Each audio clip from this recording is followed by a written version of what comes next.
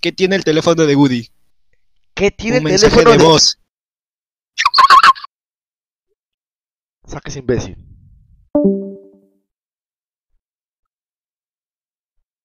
Encima ni siquiera me dejó hablar, o